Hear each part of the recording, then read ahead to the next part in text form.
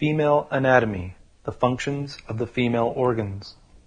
For every woman who is told she needs pelvic surgery, including exploratory surgery or removal of the uterus, fallopian tubes, or ovaries. Produced by the Hers Foundation, Hysterectomy Educational Resources and Services, an independent nonprofit international women's health education organization.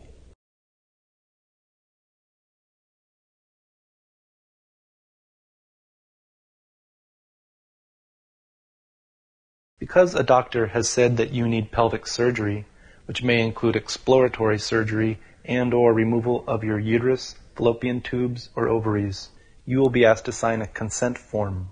In addition to the common risks of any major surgery, such as infection, hemorrhage, blood clots, adhesions, damage to other organs, and death, the consent form will state that you agree that you have been informed of the consequences of this particular surgery and that you understand the recommended procedure. Informed consent means that you have been given the necessary information to understand what you are consenting to.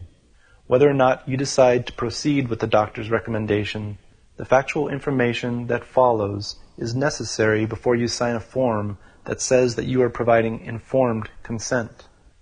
This DVD includes information about the uterus, its functions, and its relationship to other organs, the common adverse effects of severing the nerves, ligaments, and blood supply that attach to the uterus, ovarian function, the different types of hysterectomy, and the most frequently experienced adverse effects that women report after hysterectomy. The uterus is a powerful muscle located in the lower pelvis. Our first awareness of the uterus is when we are taught that it is where a baby develops during pregnancy. Later, we are taught about menstruation, conception, and contraception, but that is generally where the education about the functions of the uterus ends. In fact, pregnancy is just one of the many functions of the uterus. The uterus is a hormone responsive reproductive sex organ that supports the bladder and the bowel. The bladder sits in front of the uterus and the bowel sits behind it. The uterus separates them and helps keep the bladder in its natural position above the pubic bone and the bowel in its natural configuration behind the uterus. The uterus is continuous with the cervix, which is continuous with the vagina, much in the way that your head is continuous with your neck, which is continuous with your shoulders. When the uterus is removed, the cervix is usually removed as well. The uterus is attached to broad bands of ligaments, bundles of nerves, and networks of arteries and veins. Regardless of whether the hysterectomy is total or partial, all of the ligaments, nerves, and blood supply attached to the uterus must be severed to remove it.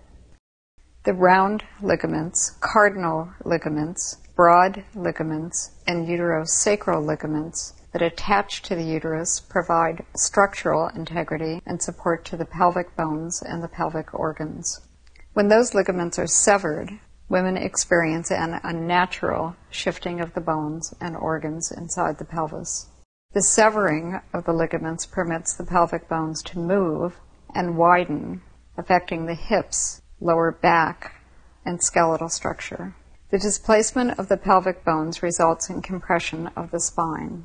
Women report that as the spine compresses, the rib cage gradually drifts down until it sits directly on the hip bones. This compression is the reason why hysterectomized women have protruding bellies and little or no waist. Weakening of the pelvic floor and a loss of feeling from the severing of pelvic nerves may result in urinary incontinence, which is an inability to control urination, chronic constipation, or fecal incontinence, which is leakage and inability to control stool. Bladder and urinary problems are common after hysterectomy. One of the reasons for this is that when the uterus is in its natural position, it provides support to the bladder. When the uterus is removed, some of that support is compromised. Bowel problems are also common. Without its natural support, the bowel moves down and takes up the space where the uterus had been.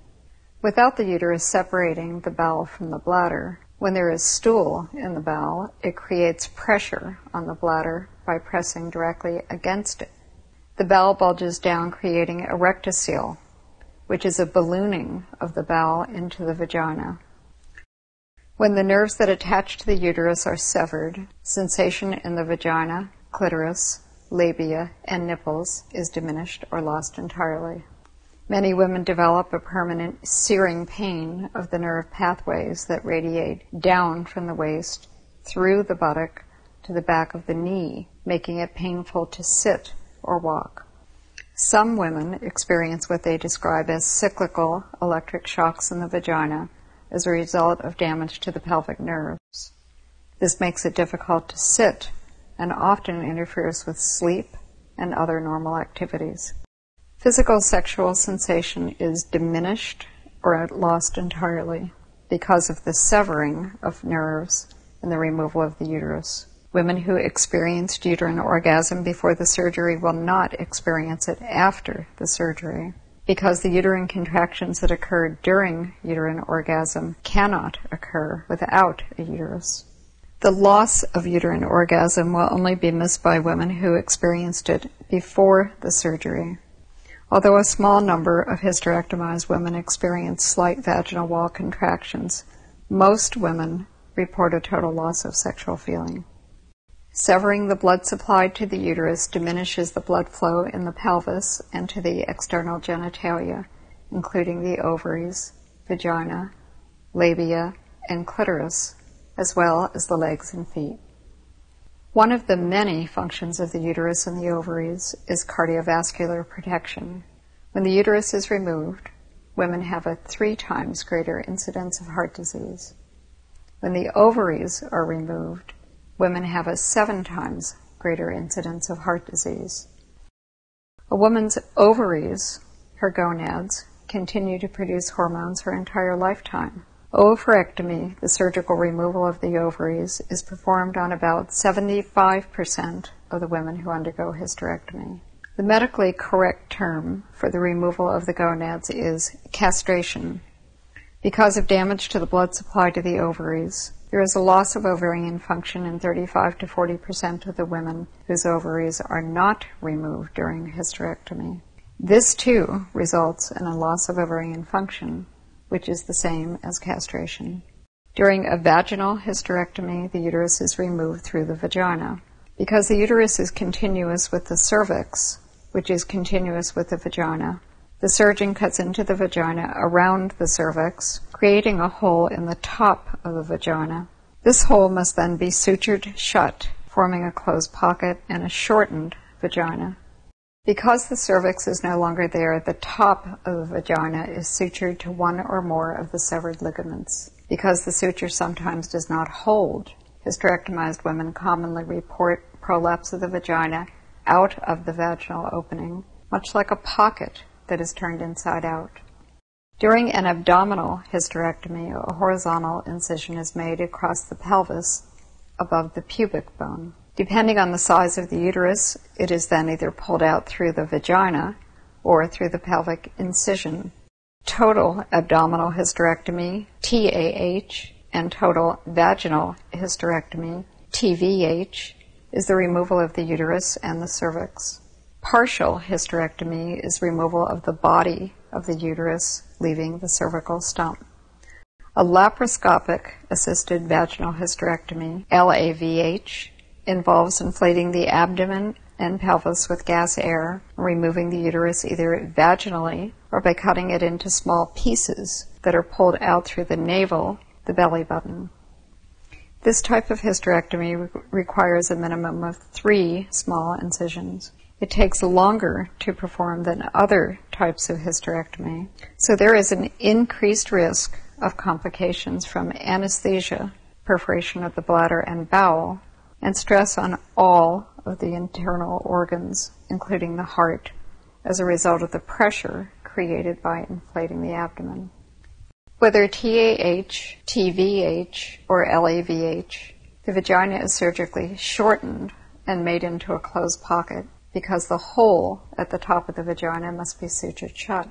No matter how good the surgeon's skill or technique, and no matter what type of hysterectomy is performed, the result is the same. A hormone responsive reproductive sex organ is removed. The physical changes are far reaching. The most consistent problems women experience after hysterectomy are a loss of sexual feeling, a loss of vitality, joint pain, profound fatigue, and personality change. The following adverse effects of the removal of the uterus and ovaries were reported to the HERS Foundation in an ongoing study begun in 1991.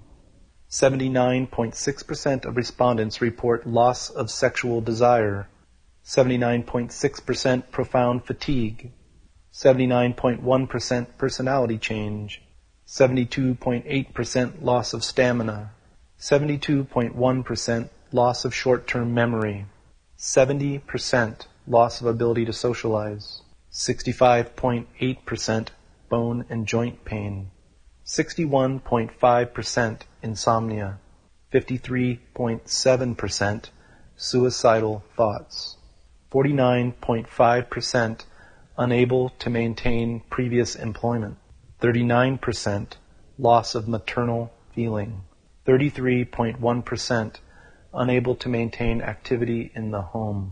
The complete adverse effects data results are available at www.hersfoundation.org. The internal female genital organs have lifelong functions that can never be replaced. There is never an age or a time in a woman's life when her uterus and ovaries are not essential to her health and well being.